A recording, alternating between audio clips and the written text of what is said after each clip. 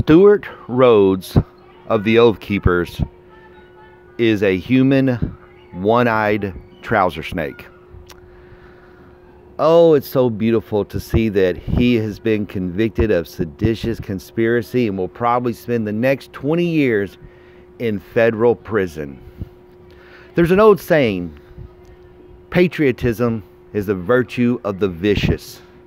And Stewart Rhodes, the Oath Keepers, the Proud Girls, I mean the Proud Boys, uh, the Three Percenters, you guys are all a bunch of traitors. You're not patriots. Just because you call yourself a patriot doesn't mean you're a patriot.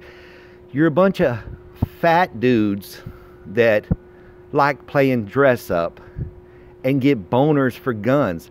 I have guns, but I don't, you know, you guys put all your fatigues on and your flag jackets and stuff, and you really look dumb. I'm telling you guys, you know, when I was a kid, I loved to play soldier too, but when you're a grown man and you got a big, huge, fat beer gut and gray whiskers, you don't look cool. Now, I know you may think the girls at Hooters really like you, you know, just like the girls at the strip club. They, they really like you, but they're just acting like they like you to get tips and money, okay? Grow up. So, I think now that Stewart Rhodes has been convicted of seditious conspiracy, I know it only happens when you're in war, but I think we should just line them up against the wall and just, uh, you know what I mean? Take them out. But, um, and to all of you uh, militia dudes out there, please, please, please, I beg you, try to take on the federal government. Do it. Get some guns, get your buddies, get a couple beers, get some beef jerky, and roll up to a military base and try to do something. I need some entertainment on my days off to watch on the news of you guys being slaughtered so I can laugh. You know, you QAnon believing idiots. The military's the only way. We're waiting for the military. Please try to do something so the military can slaughter you. I would laugh all day long. You're not intimidating, you're stupid. When I see you fat idiots standing out there with your guns, you know, I don't sit there and go, wow, that's an American patriot. I go, that guy needs to get home because I'm sure his blood sugar is low and he probably needs to check it because uh, I don't want to see his fat ass fall out on the ground because we ain't picking him up. Because I know you guys probably all got diabetes and heart disease and uh, cholesterol. That's what I think's so funny.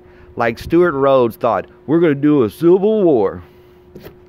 How are you going to do a civil war when you guys need to take your diabetes medication and your heart medication? Do you understand? You got to you got to quit living in the past. I know you watch Ken Burns Civil War and it gets you all excited. You're like, yeah, man, those were the days. Listen to those letters; they were so eloquent. Well, you guys aren't that eloquent. It's not going to be this movie feeling proud to be an American because you're stupid. That's the problem. You're stupid. You watch too many movies. You grew up in an age where, you know, the movies Rambo and Rocky and Terminator and all those type of movies, it made you feel like you were tough. And you played some video games, Call of Duty, and you thought you were a soldier. And you went down and you bought you some camo and you bought you some stuff and you walked around. I had a friend like that. He was crazy as a, he was crazy as a loon. He had all these weapons and flag jackets and helmets and crap. And he used to always tell me all the time, "Oh, I'm stocking up, Civil War." Blah, blah, blah.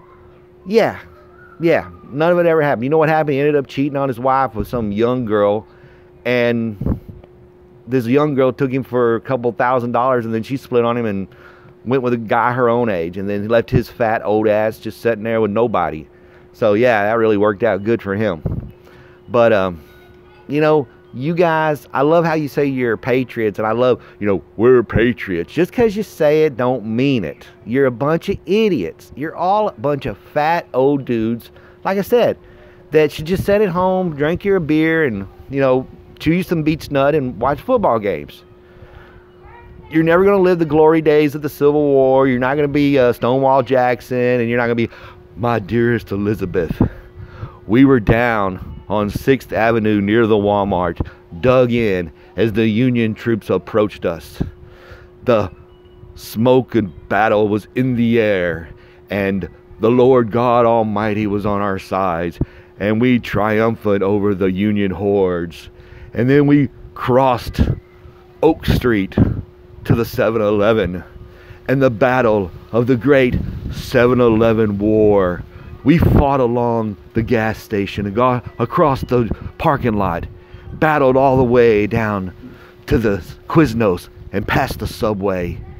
And it was at the Sonic when the bullet entered my side. And as I fell to the ground, I thought only of you, my dear Elizabeth. And then I smelt a corny dog.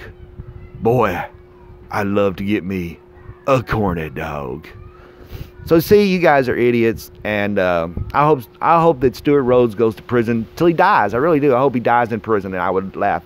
And please, all of you uh, militia dudes, continue to do this stuff. I think it's awesome. I love watching y'all going to prison, and I guess Q was right because uh, people are going to prison. It's not like you thought. Uh, I think Stewart Rhodes should go to Guantanamo. He's a freaking terrorist. And that'd be awesome. And hopefully, uh, Gavin McInnes and the Proud Boys and Alex Jones and all you little bastards, Nick Fuentes and all you little homos will go down to Guantanamo and be little butt buddies down there in Guantanamo Bay. Uh, so it's beautiful. Keep doing it. Uh, don't forget your diabetes medicine. Uh, make sure to go down and get your corny dog. And uh, I hope you all ride to hell. This is David, Zoeii ZiZZles. Make sure to like and subscribe.